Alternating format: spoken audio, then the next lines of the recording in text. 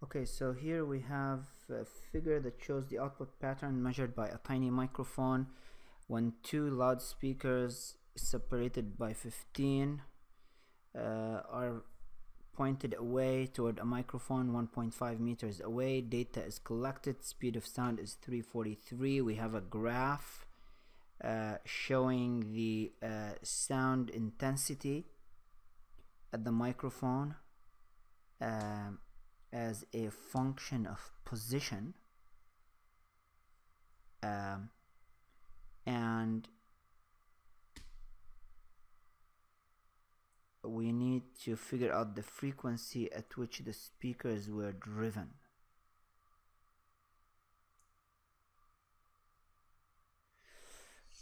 Okay so um, this is uh, sort of a direct application of uh, a Young's double slit experiment where uh, the two sources of light in the double slit experiments are uh, illustrated here by the two speakers. And the receiver on the screen um, is uh, could be illustrated here by the fringe width that we can figure out from the graph. Now um, let's take a look at uh, the double slit experiment because I don't want to just give you the formula. I want to show you how to get it. So if we have a double slit experiment so we have the first slit here and we have the second slit. And let's say that the receiver is here.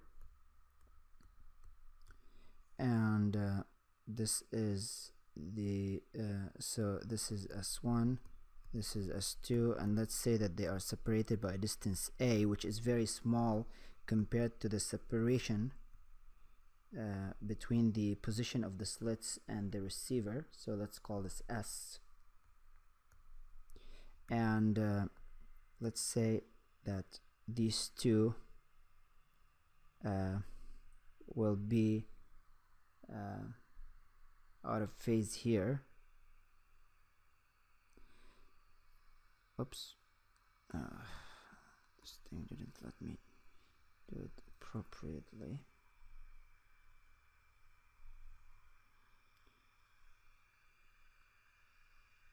Uh,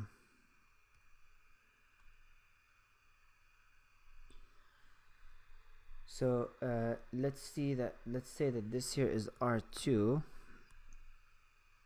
and this here is R1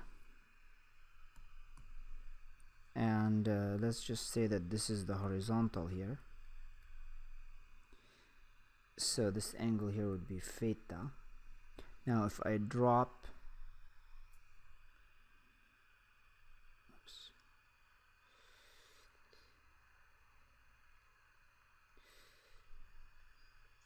oh,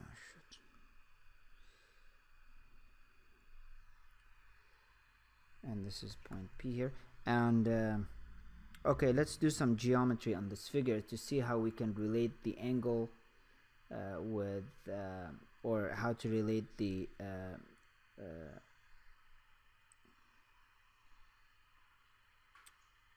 uh, where the central maximum will happen um, assuming um, that this is y here.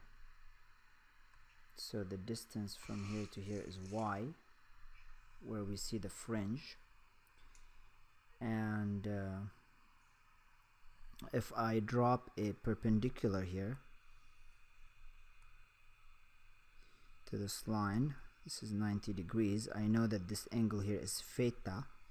So straightforward geometry will tell you uh, oh so if if r1 and r2 are very long the path difference between them is their difference. R1 minus r2 is captured by this piece here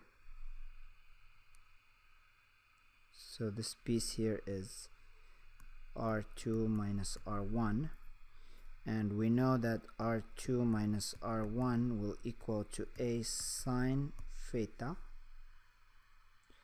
And at the same time we know that uh, theta is very small. So from Taylor series we know that sine theta is approximately equal to theta so that will tell us that r2 minus r1 is equal to a theta. And if I look at this triangle here I could see uh, that uh, sine theta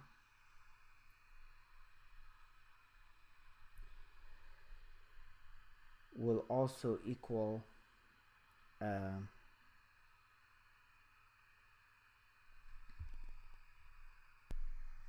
now let me let me show you here that if I also connect uh, this line here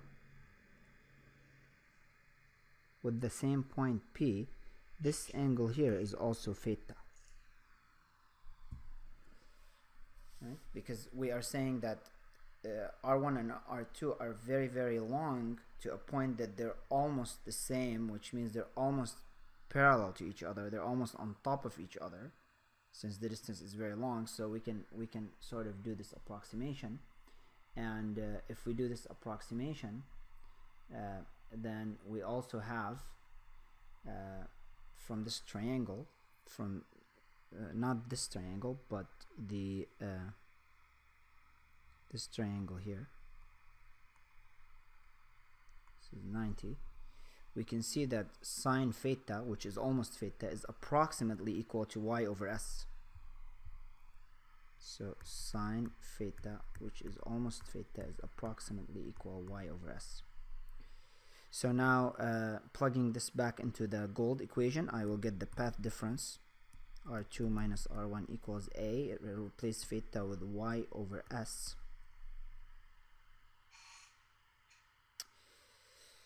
okay uh, now uh, this path difference uh, will equal uh, an integer multiple of the wavelengths so that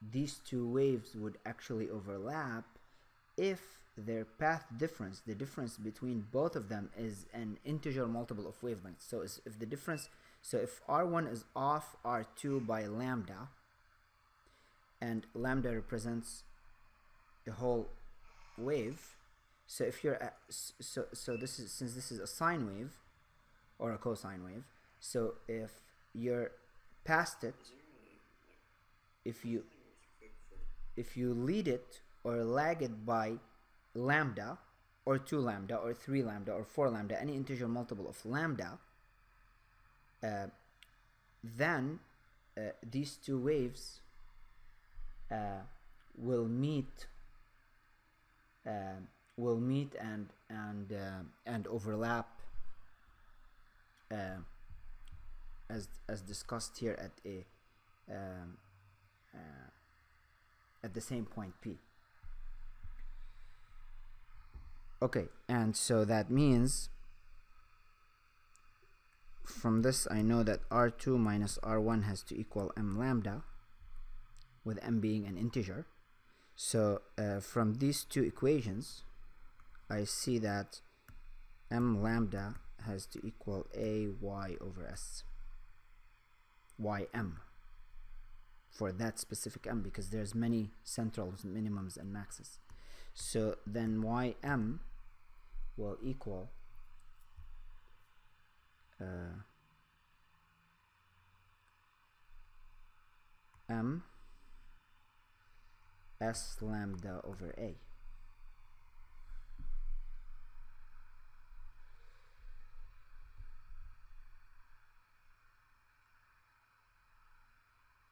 So so that's for one maximum now if I were to take the next maximum up that would just be the next m.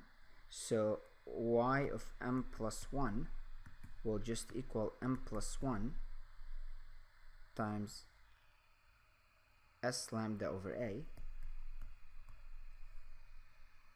And if I need to figure out the difference in positions of these two consecutive maxes I can subtract ym plus 1 minus ym will equal to uh, the difference of these two so I will get m plus 1 s lambda over a minus ms lambda over a. Uh, if we uh, FOIL this through and subtract this guy will cross out and we will get delta y.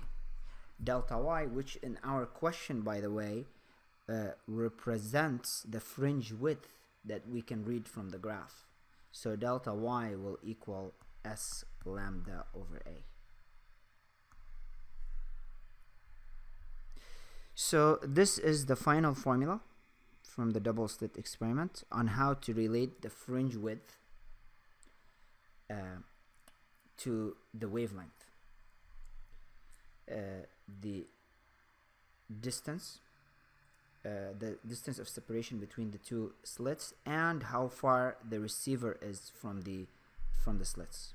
And now I can solve for the wavelength. I'm, I'm being asked for the frequency. Uh, so I need the wavelength. I have the speed of sound so if I have the wavelength I can solve so I will get lambda to equal delta y times a over s now uh, we know from the from the graph that the fringe width is about 1.43 if you look if you read it from the graph centimeters.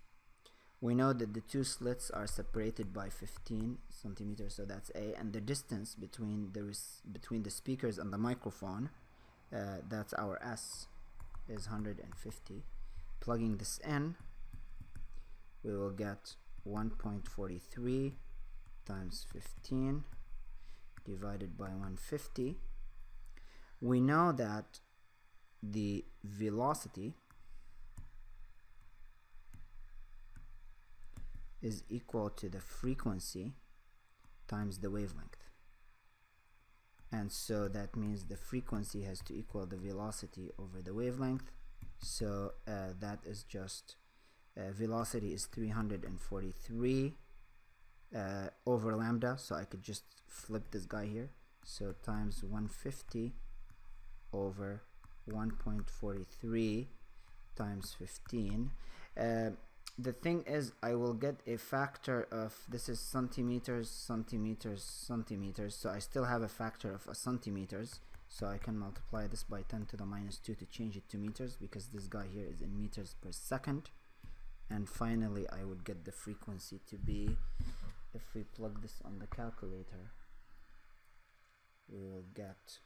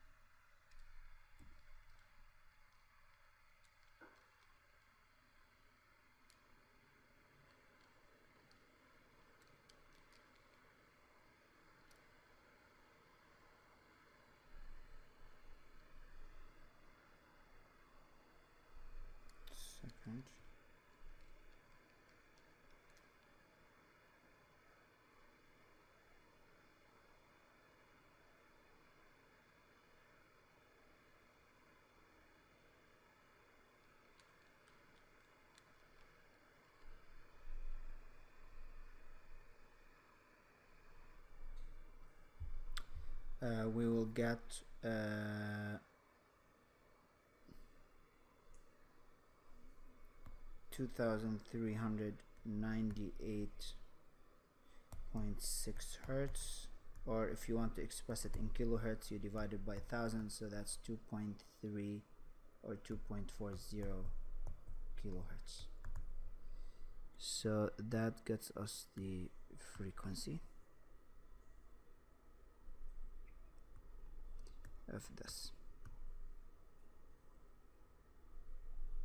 Oops sorry about that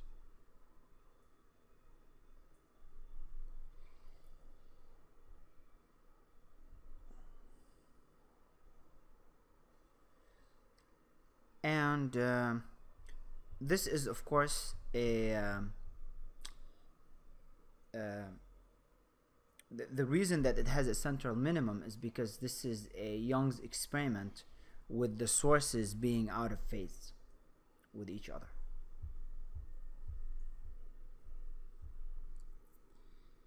So sources out of phase. And that's why we get a central minimum.